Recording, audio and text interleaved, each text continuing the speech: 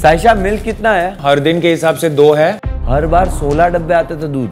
तुम लोग छुपाना बंद करो बराबर सब आएगा टाइम पे।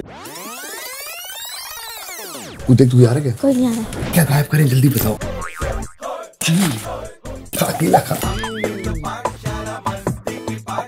चोरी करके केले खाने का इतना मज़ा है मच्छर मारने वाला छुपा लिया मैंने। दूध उठा लिया चीनी चोरी हो गई। बेचारे गरीब लोगों को कुछ दे दे यार। वो संतरा गिर गया मेरा। मतलब मौसमी गिर गई मेरा संतरा मेरे पास ही। है चीनी का हो रही चीनी चोरों वाली हरकतें हो रही है यहाँ पे। मुझ पे तो शक आना भी नहीं चाहिए क्योंकि मैं चीनी नहीं खाती हूँ।